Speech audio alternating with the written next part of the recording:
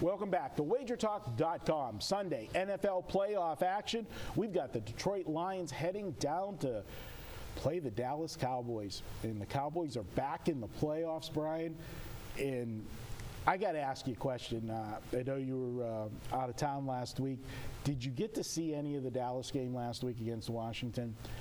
They were absolutely blowing out Washington, and Garrett still has Romo, you know, and Murray in the game when they got nothing to play for, a huge lead. I'm like, you know, you deserve to get one of these guys hurt.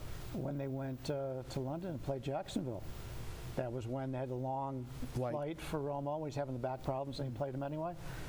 You know, this is a big year for Dallas. I guess he's putting all of his eggs in one basket. Well, you, you need those eggs. You don't want to get them cracked before the season's over.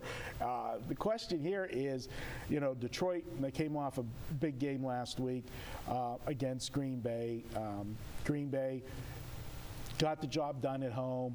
Uh, a little controversy in that game with uh, Rodgers getting stepped on.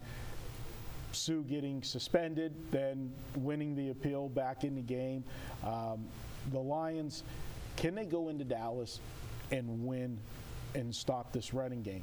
Because we're looking at when you do things on paper, this is strength versus strength. We've got the best rushing team versus you know the best defense against the rush, which is going to give. And everybody's pointing to, well, Lacy had a big game against them last week.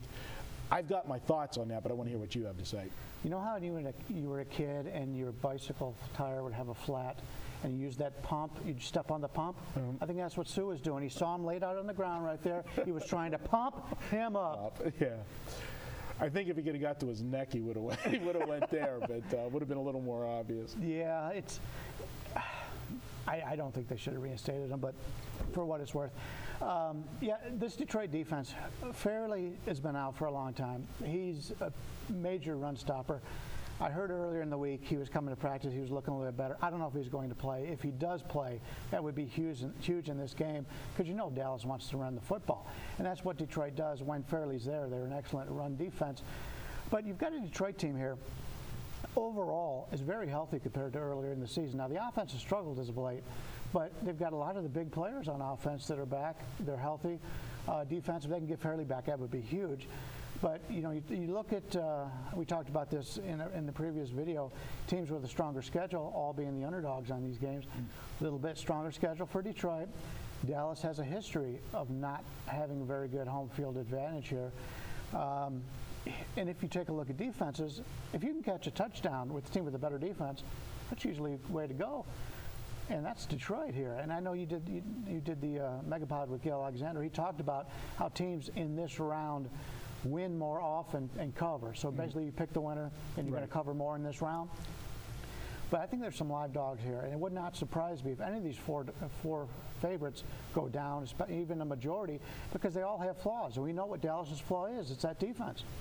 It is, and people are looking at they're going to be able to run the football like Green Bay was last week. There's a little bit of a difference. Green Bay, Lacy is a power running back. You know, he's a bruising running back, and they were playing outdoors in Lambeau in late December. It's cold. This is an indoor team.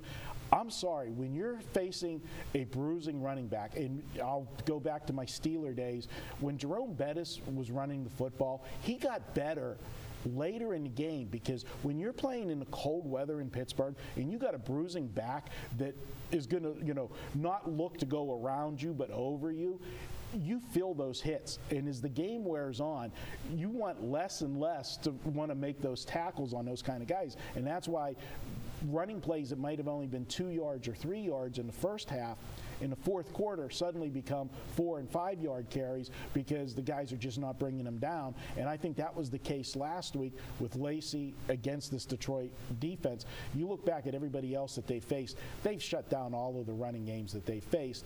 And we know that the success Dallas has had is because they run, ran the football more this year and took the, you know, the burden off of Romo. When Romo has to make plays, that's when bad things happen. Yeah, Romo's been a very good quarterback, and in my eyes, a little bit underrated in the past because he does tend to blow the game when it's, it's, you know the Andy Dalton type of thing.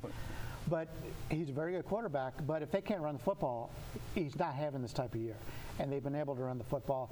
But to get back to what you were saying about the bruising running back, I mean, there's going to be two weeks in a row that Detroit's going against a real bruiser on the uh, other side here. So uh, if Detroit does get past this game, after playing those back-to-back bruising running backs, maybe next week is is a good time to go against them. But we won't get ahead of ourselves. Yeah. The only bad thing that, you know, we got to bring it up, you know, the Lions on the road with Stafford against a winning team. You know, we talk about how bad Andy Dalton, you know, has been in big games. Stafford just doesn't win these games. That's the only bad thing about the Lions in this one. In that stat that Gill did bring out in the podcast about pick the winner, that's who you know is going to cover the spread. You know, history says that it's not going to be a three-point game, and you know if you're taking the dog, we're looking for it. We're looking here for them to win the game outright. Uh, if that stat holds true, can he break that jinx? Well, you're looking at all these, as I said, all these teams have weaknesses, and there's a reason why they don't have a bye. So anytime an underdog wins, obviously the underdog's going to cover. Um, so I think that adds to the higher rating there for uh, teams winning and covering. But uh, yeah, you're right. I mean, that's you're going to hold your nose if you're playing any of these teams. They can all collapse. We've seen it all season long. There's certain games that they just didn't play well. I think out of the out of all the teams playing on this round, maybe Dallas is the most complete team. But boy, that defense scares me. If, if they can't play ball control, that defense will be on the field more, and that's where. But wish they wish the Lions. You know what happened to this Lion offense? Th- th- This is the biggest mystery because they've got so much talent on offense. I don't know why they're not scored. I mean, you think back, you know, last couple of years, the problem with them was never the offense. It was like, you know, they had defensive players, but they were always underachieving under Schwartz, and you'd have those games where they'd score 30 points and not cover. This year, they can't get to that 30 point mark. Yeah, they've been very conservative offensively, and uh, and a lot of it, as we pointed out uh, earlier, were injuries. I mean, when you've got Megatron, who could be the best receiver in the NFL, if he's struggling and and he doesn't draw that double teams because the other team knows he's just a decoy, that's going to hurt the passing game. So now that a lot of people are back, we'll see how Detroit goes here. All right, there it is. Brian says to take the Lions plus the points. Hey, I want to tell you guys we're offering something new at Wager Talk. It's only going to be on Wednesdays and Saturdays right now. It is the Wager Talk one day power pass.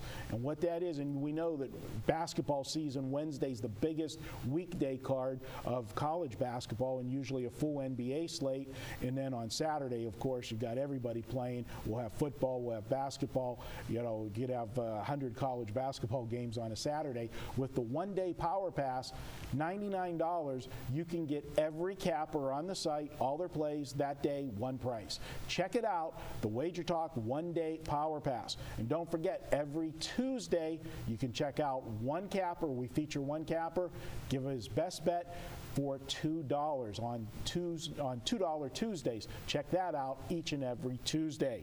All right, that's it for this week's playoff games. Uh, we'll be back next week previewing the, the next round. We'll see how the wild card weekend goes, and we'll probably be talking a little bit next week about the actual national championship game uh, as far as a pick goes. We'll check it out next week here on wagertalk.com.